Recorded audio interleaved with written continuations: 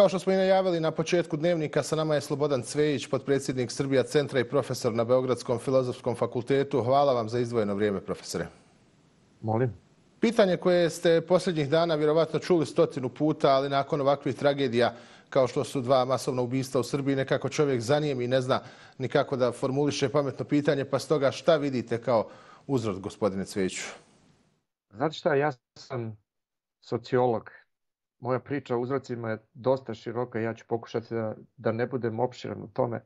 Ovo je postkonfliktno društvo puno akumuliranog nezadovoljstva, plus živimo u jednom okruženju nasilj, kulture nasilja koja se plasira kroz medije, kroz tabloide, kroz gotovo sve medije koji imaju nacionalnu frekvenciju, ajde da kažemo da jedino javni servis radio televizija Srbije nema takav program, mada i tamo ima nekih elemenata koji mogu da doprinesu ovome. Ovaj, tako da a, problemi su brojni, a, ova vlast je produbljivala podele u društvu, prosto postoji mnogo razloga koji su mogli da vode ka nečemu ovakvom. Bežanje u objašnjavanje ovog, ovih nemilih događaja time da je, ne znam, jedna osoba van kontrole, umobolna, da je jedna škola imala neki problem u organizaciji ili nešto slično, to je prosto absurdno. Niko nije mogao da predvidi da će ta stvar na ovaj način da se desi i ovde svakako i taj individualni faktor ima nekakvu ulogu. Ali ako vi znate da je ovaj momak u Mladenovcu imao onoliko oružja dostupno, ako znate da je ovog dečka otac vodio u streljanu da, da vežba, da puca, mislim, šta tu još treba da se priča? To, to su jasne stvari koji su razlozi koji su do, do ovoga doveli. Znači, oni su i nešto dublji istorijski i nešto skorije u ovom smislu. Ima tu i efekta urbanog života i, i, i generacijskog konflikta i naravno e, ličnosti ove dve osobe, ali mi kao društvo smo pali na ovom testu. Sve to o čemu pričate odvelo je Srbiju u proteste sa jasnim zahtjevima. Građani su već tri puta u impozantnom broju protestovali u Beogradu. Slijedi u subotu i četvrti protest. Šta dalje kada je to u pitanju? Nastavlja li se samo mirna šetnja ili se može očekivati određena radikalizacija, hajde da se tako izrazim, pristupa? Ove su šetnje u velikoj meri terapeutske. U ovim šetnjama ja sam tamo, razgovaram sa ljudima, čitam šta piše na društvenim mrežama. Ljudi su imali potrebu prvo da osete da ima još onih koji dele njihovo stanje, njihov osjećaj i tako dalje. Znači one već imaju svoju funkciju i ona je odlična. Drugo, oni žele da pošalju poruku, evo pogledajte koliko nas ima, pa nije to ovaj, jedna grupica ljudi. Treće, da pokažu da može ovo atomizovano društvo kao što su mnoga i u okruženju i u svetu, to je prosto globalna kultura do koje su nas dovele ove društvene mreže i komunikacija online, da može da se sakupi, da se sastavi negde i ovaj put se sastavlja oko a, a, onih, e, da kažem, iskonskih ljudskih vrednosti. I to je nešto što je i moglo da okupi te ljude. Oko toga se ne razlikujemo. Verovatno će im u subotu takođe biti potrebno da pokažu možete vi da izvedete ovaj, koliko god hoćete autobusa u petak organizovano i prisilno, verovatno ste već videli te snimke kako to funkcioniše, kako je funkcionisalo u Pančevu. Vučić kaže jednu u medijima, onda oni rade drugo, dode batinaši i tako dalje. Možete dakle da organizujete koliko hoćete autobusa, znači biti više u Beogradu.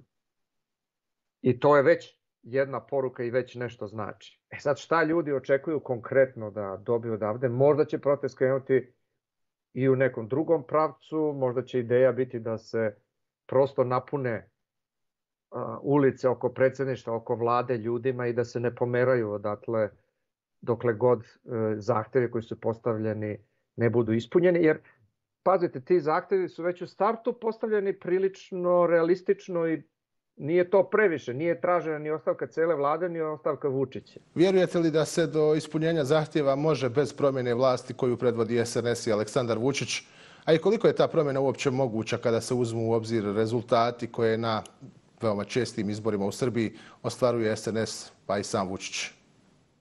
Pa nema svrhe izlaziti sad na izbore ako se uslovi za izbore ne budu izmenili. Nije Vučić dobijao izbore zato što je on najbolja opcija u Srbiji, nego zato što je uspostavio potpunu kontrolu, napravio sa, sa par e, medijskih e, tajkuna e, kombinaciju, da kažem tako, i zahvaljujući tome vrlo spretnim političkim marketingom uspeo ovaj da, da dobije većinu. Kad bi uslovi bili fair, to bi bila druga priča. Ja mislim da je njegov koncept i ta politika potrošena i pitanje toga koliko to shvata ljudi van Beograda, a ja mislim da ih dosta shvata i da to ukoliko gradova je već inicira nekakav protest, čak i ne govori samo po sebi, prosto e, tamo verovatno nije postojao dobar organizacioni kapacitet da se da ljudi iskažu svoje a, a, protivljanje ovoj politici i ovolikom stepenu nasilja. Kažem, u, tom, u takvim uslovima prosto nema svrhe izlaziti na izbore. To smo probali, probali smo sa evropskim pregovaračima, on je svaki put uspeo da ih, da kažem tako, prevari. A drugo, postoji to da su oni u suštini ovaj, bili skloni da obnavljaju stabilokratiju Vučićevu, jer na taj način su se neki interesi ovaj, pomirili. Tako da se ja bojim da ćemo ovde morati ovakvim pritiskom da izborimo ovaj, povoljnije izborne uslove ili da izborimo odlazak ove vlasti. Pa ćemo videti. Mislim, u velikoj meri i pitanje toga kako će takozvani strani faktor reagovati na ovo. Ako se bude makar distancirao da mu više ne podržava podršku, da mu ne pruža podršku, ovaj, stvari bi mogle da se, da se promene. Za kraj, gospodine Cvejiću, mnogi u medijima i na društvenim mrežama postavljaju jedno, čini mi se, realno pitanje da Vučić sutra i padne. Ima li u trenutnoj opoziciji profilisanih ljudi s određenim povjerenjem građana koji mogu na neki način stati ispred ljudi i povesti Srbiju u nekom novom, drugom, boljem pravcu? Pa mislim, treba biti iskren i reći da je e, e, poverenje i međuljudsko i poverenje u institucije nisko Pogotovo je slabo poverenje u političke partije koje bi inače trebalo da predstavljaju ljude ovaj, na izborima i kasnije u izvršenju vlasti. A, I to nije problem samo u Srbiji, ali ovde možda jače naglašen jer istraživanja pokazuju već godinama da je u Srbiji još nekim zemljama ovaj, u Evropi e, to poverenje niže nego u inače nisko poverenje u, u drugim zemljama.